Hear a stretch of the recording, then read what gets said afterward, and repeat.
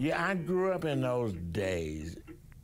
Of course, when we would go down the streets in our little town, if a white woman and a man was coming in front of us, we were supposed to step off the sidewalk and let them get by.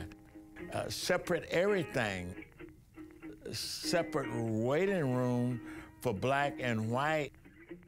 And they had a white and women room and a men room, but there was just one room for us and it was in the back and was always dirty. Couldn't sit down in the front of a restaurant and eat. Well, my mother uh, died when I was seven months old. My father couldn't read or write. I'm a third grade dropout. Uh, my brother was killed by the policeman when I was a boy. And, and all of those horrible things.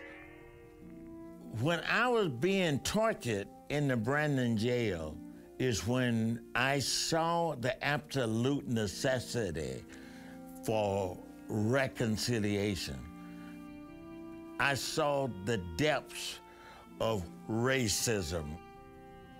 What was significant about that in my healing in the hospital after that, it, it was those white people who I didn't really want around me but I was forced to be there because they were the doctors and the nurses, and they continued to love me. They become the one that washed out my wound, and we began to heal each other. And that's when I said, Lord, I want to preach a gospel that can reconcile black, white, Jews, and Gentiles together in one body.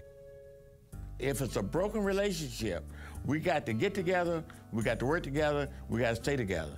And, and that's what reconciliation would look like